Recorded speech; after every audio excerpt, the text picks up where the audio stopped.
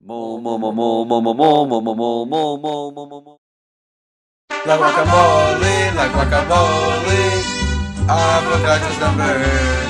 Like guacamole, like guacamole. Six times ten to twenty-third.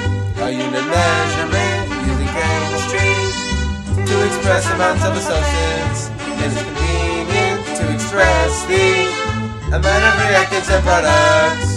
The unit symbol is the mole. It is one of the base units in the International System of Units. It's used for molarity with moles over liters.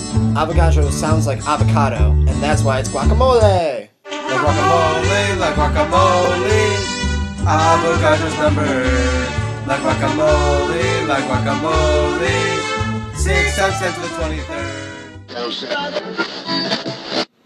You are now about to witness the strength of Kevin Knowledge.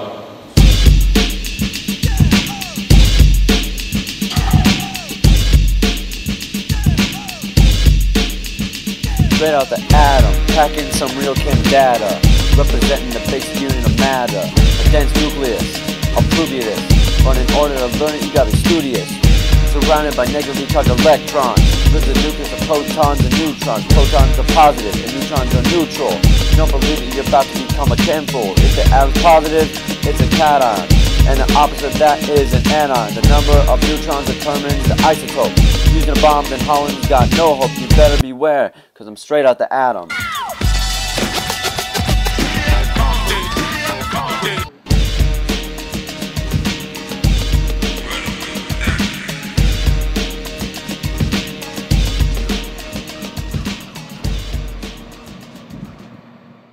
Mo mo mo mo mo mo mo mo